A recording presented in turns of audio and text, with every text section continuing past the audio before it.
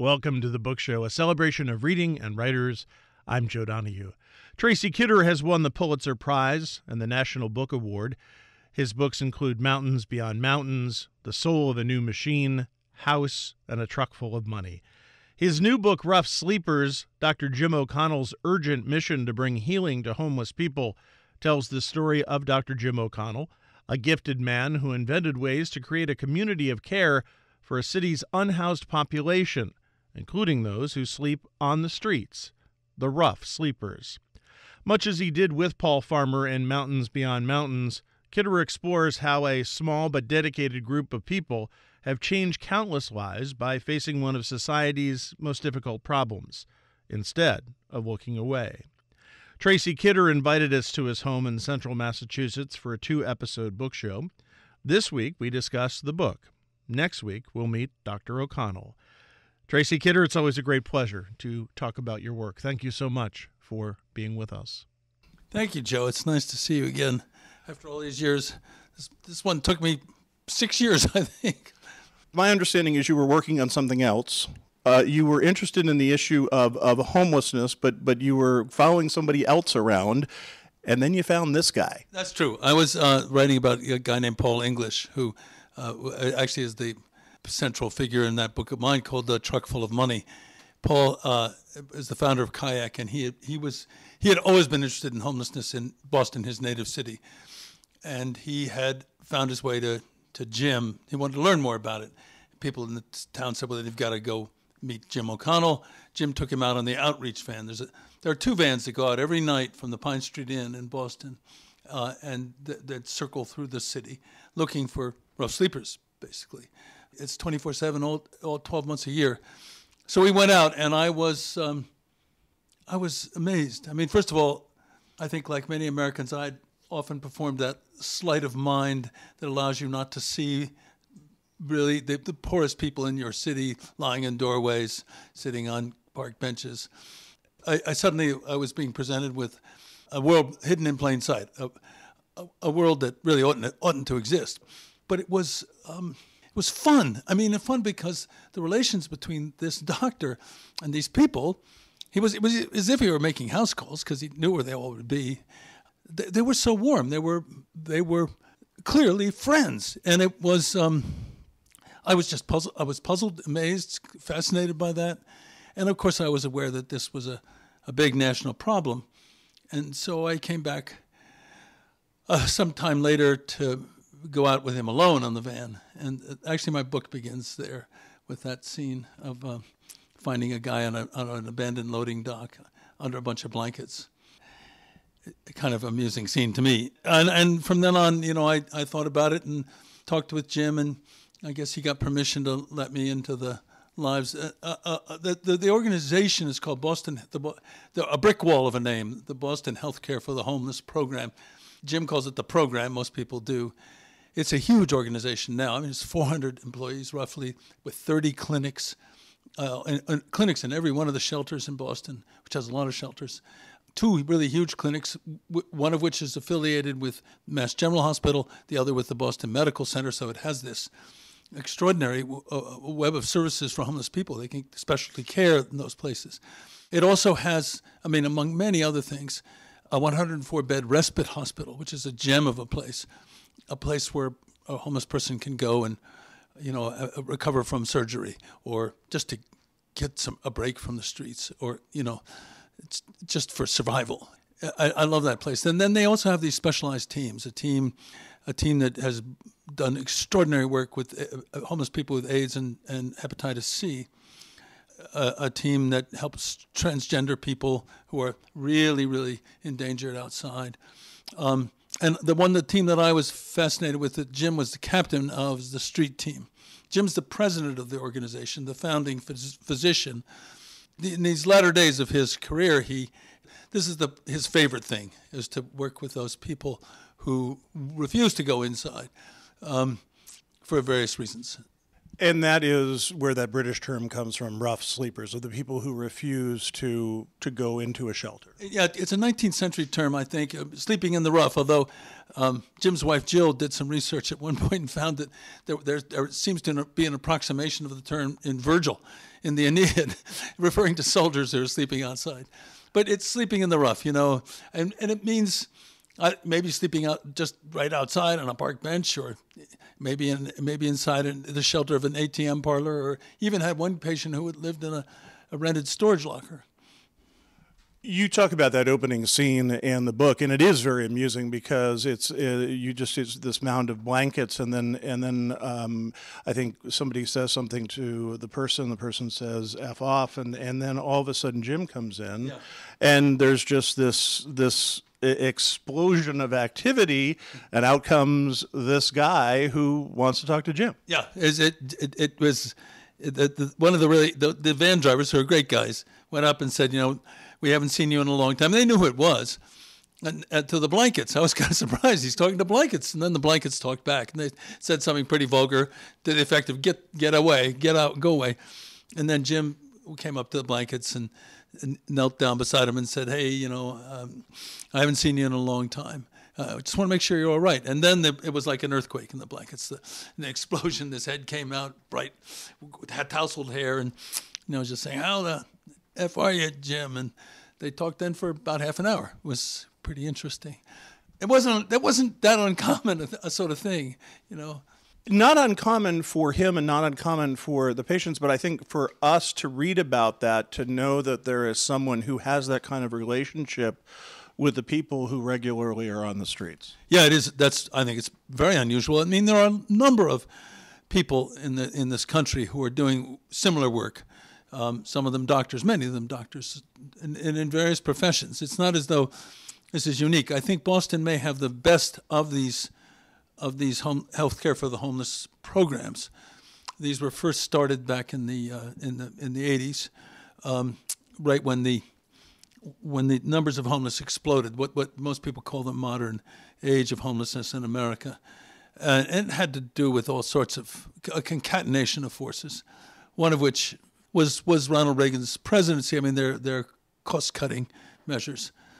Although, I, I'm sorry, I'm getting into the weeds here, Joe, but it is important to remember that during his entire presidency, both terms, he never had control of the whole Congress or he may have for one for two years. I can't remember, but you know, so he wasn't doing this all by himself. You you do say that in the book that there are there's fault on both sides politically on on this problem as it was exploding, but it was Ronald Reagan even at the end of the term who said, "Well, I don't know why these people can't find a job. There's plenty of ads in the newspaper." Oh yeah, and and in effect, he equated shelters with homes, which is which is really ridiculous, of course.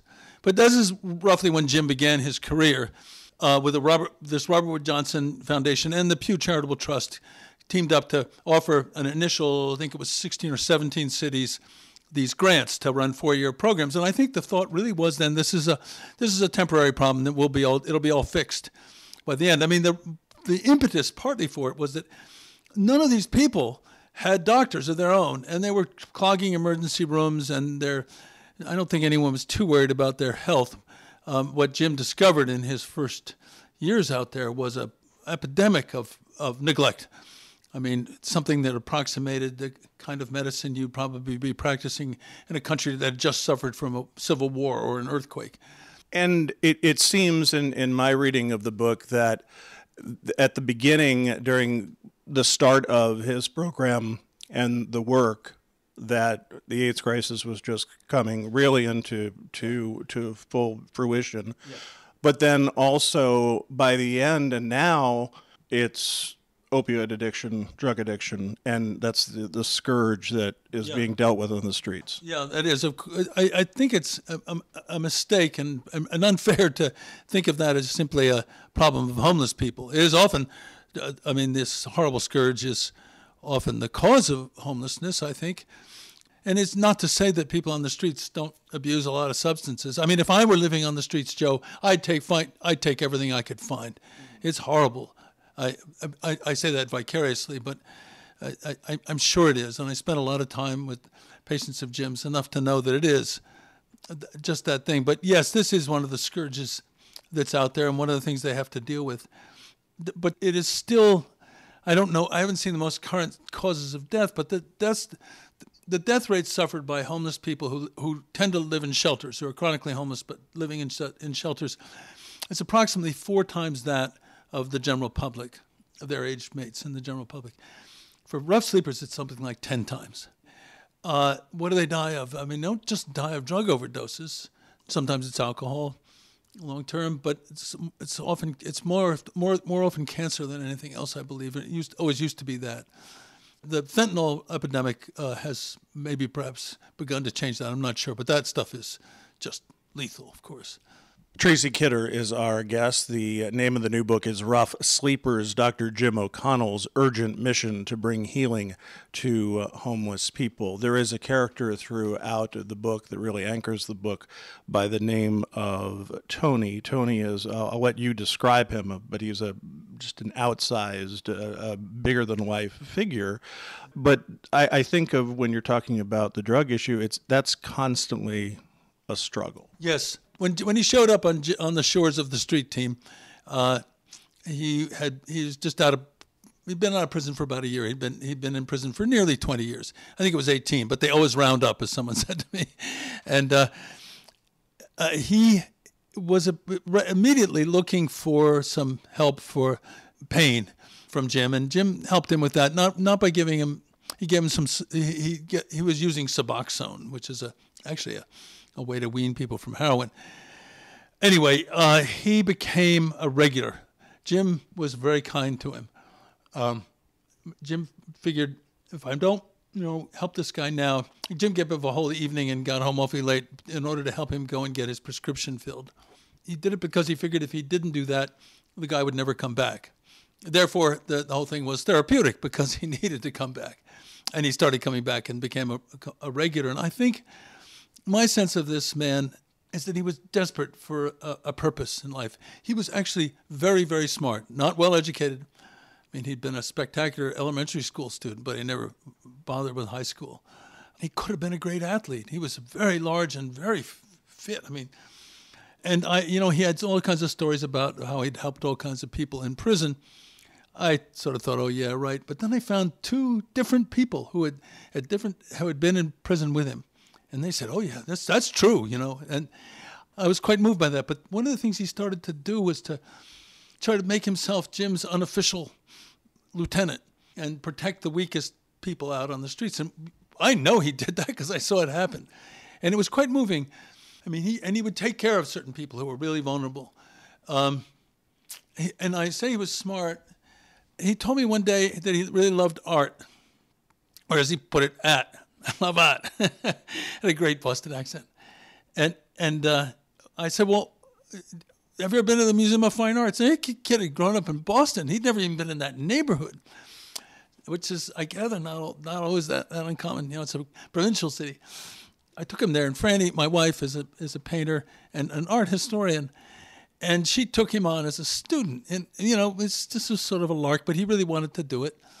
And he was astonishing an astonishing student. He started out saying, you know, over I think it was in front of a Helen Frankenthaler p- paintings that, oh yeah, you, you, know, a kid could do this, you know, Frankenstein, you know, for Frankenthaler, that stuff, and then he got serious. She she just ignored that, you know, as if he were her, you know, high school student, and said, yeah, but look at this and look at this, and pretty soon he was pointing out things to her, and they, I'm listening to him, was like, hey, they're going to the museum together, and at one point during the whole thing uh, Jim joined joined the, the, Jim O'Connell joined the troop a little later on. Jim was became tremendously fond of this guy. I should add, but what I what I want to get at is right near the end, he made an observation about a painting that really only an art historian would be expected to make, and it astonished Franny. He'd seen something in the in a painting by a German not quite contemporary, but re, you know, relatively modern painting, something in a hand, and, and he said to Fran, "Doesn't that look like the uh, the David?" And Fran he said, I, I, was thinking that." And then, you know, we started in on him and said, "Joe, you must have studied art." He said, "I read books. I don't. Did I study art? No." I said, "Look." Michelangelo, the Colosseum. He said, I'm Italian. and, and, it was, I don't know, the whole thing. And I remember this so clearly. We left, he, he had a bad foot. We decided to get him set up for the night in a hotel or something. Then, and we put him in a cab, Jim and I. And and I remember Jim saying, as the cab drove off, just saying, I, I just can't help thinking what he could have been. And you know, and I would say that about almost every one of J- Jim's patients whom I met.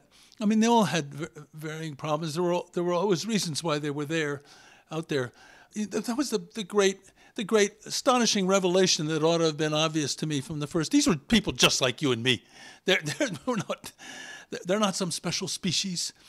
Homelessness is not a, a human trait. It's a condition that you know people fall into, and that really shouldn't exist at all. In the obviously in the world's richest country, but but when you got to know them, they were they were wonderful.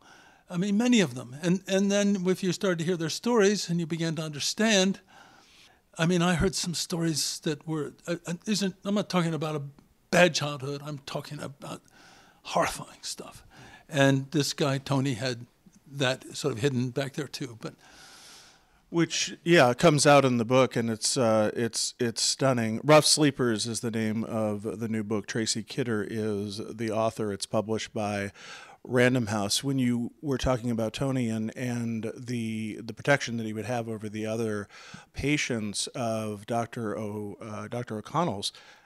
But he was really protecting Dr. O'Connell too. Well, he thought he was. Yeah, he told, he told other uh, some of the other patients who he you know, I thought were a little sketchy that he was he was actually uh, uh, Jim's uh, great nephew, which was sort of another thing.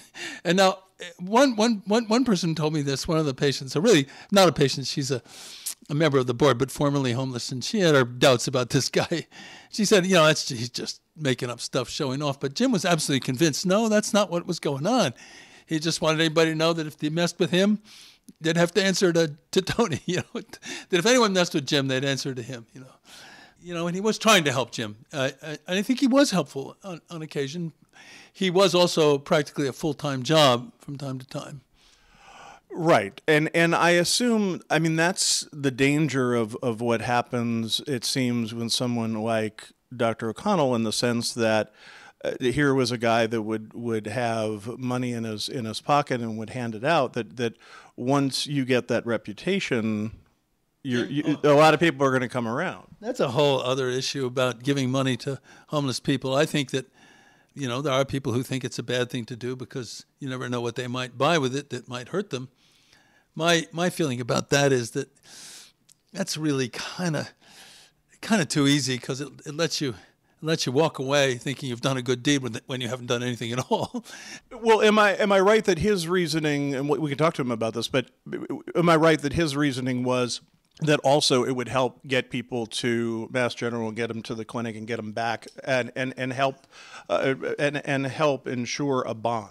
I think I think it was I, it was that partly. I think it was also just something he felt he wanted to do, in order to do, and I think he started it because the woman who pretty much told him how to do his, taught him how to do his job after his residency at Mass General was a as a nurse to the homeless named Barbara McInnis, and he was saying he was thinking of giving a donation to one of the shelters, and she said, "Why don't you just give it to your patients?"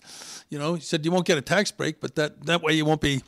You won't be helping the military-industrial complex. So anyway, he, uh, I think he, you know, and he, he didn't have a lot of money then. He was there was a very low-paying job when he started, and he'd give he'd give out a dollar here or there. And then a little later on, I think he began to notice the program had built its first respite in a place where um, there were there was no one to cage money from, uh, just to, to beg money from, and, and no sorts of income for a lot of the people there. And food trucks would come and feed the staff, and he'd see patients, you know, kind of like little boys at the candy store window, little girls, and he just thought this isn't right. I, I feel crappy not doing something, and he thought, well, maybe I should buy them food. But then he also had a a mentor, a, a, a formerly homeless woman who was actually the head of the board of directors, who said felt that a gift should be given freely. You don't tell people what you're. You don't go to the person, give them a gift, and then say, "This is what you have to do with it." That was her feeling, and I think he bought into that too. So it's complicated. So much of this is complicated, and it it seems impossible to even come to terms after reading the book of of what are solid things that we can do to help eradicate this homelessness because there are so many facets to it. There are, and it, I mean, it is, it, it is as one of the smartest people who talks about this, and one of the most effective people co- coming up with part of of the solution. A woman named Rosanne Haggerty, who has this wonderful organization called C- Community Solutions. She says, "Look, we it took us a long time, but we suddenly realized homelessness is a symptom." And, and, and it's a symptom of, of, of very many things in our society, not just but including in maybe first of all a lack of decent affordable housing you know a, a real scarcity now in, in, some places like boston or new york or los angeles or san francisco i mean you know it's outrageous now the, the cost of, of housing i mean if, if, if, if as somebody has put it housing then becomes kind of a game of musical chairs well the people who have certain kinds of problems are going to be the ones that are left standing right they're going to be left out of the cold and that i mean that's just one way to think of it there are there are people who are homeless for only one night, you know, uh, during the course of a year. There are others who are intermittently homeless. There are others who are home chronically homeless. They're not the largest part of the uh, uh problem. I forget the exact numbers. I don't think we really ever know any exact numbers about this. That's another complexity, by the way. The, the, all the, the, numbers you hear are not accurate, Joe. That's the only. I can't tell you what the accurate ones are, but they're always low.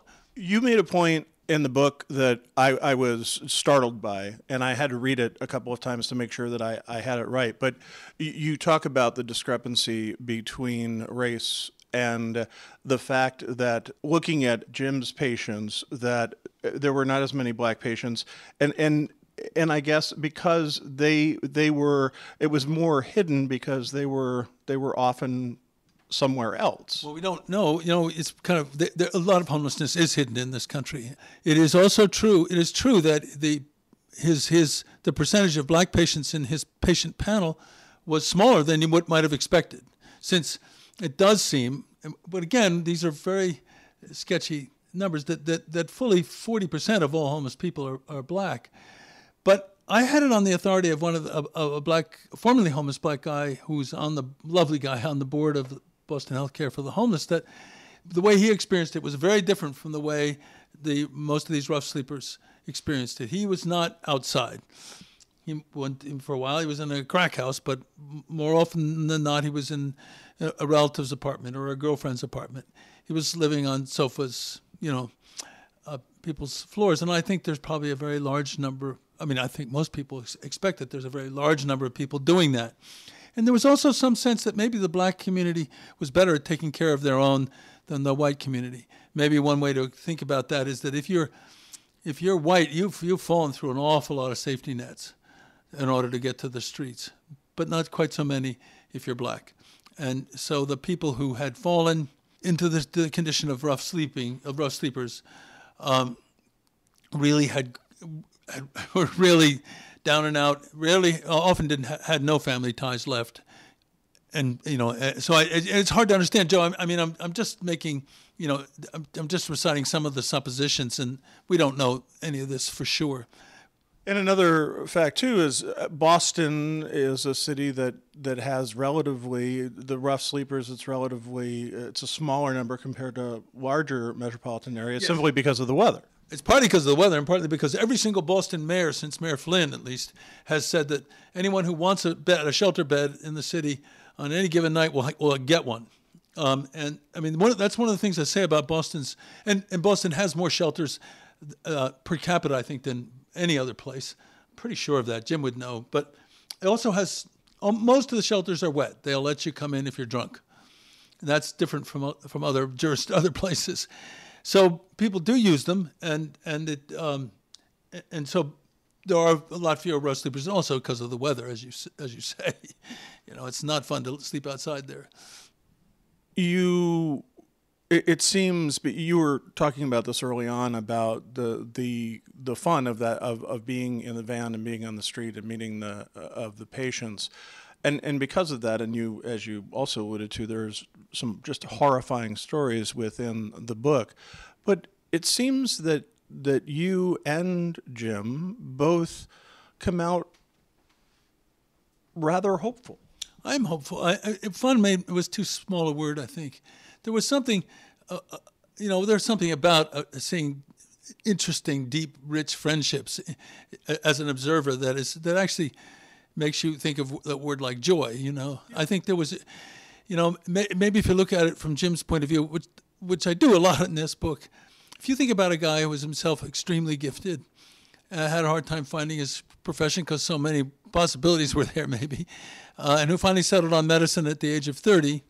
Um, and he went to he wanted to become he wanted to go be, go to the University of Vermont Medical School, but they wouldn't take him because he was too old. They said so. He settled for Harvard, and then he uh, and then he went and he got his residency at Mass General, um, and he you know he, he he loved medicine, and he got conscripted into this job, and he was only going to do it for a year.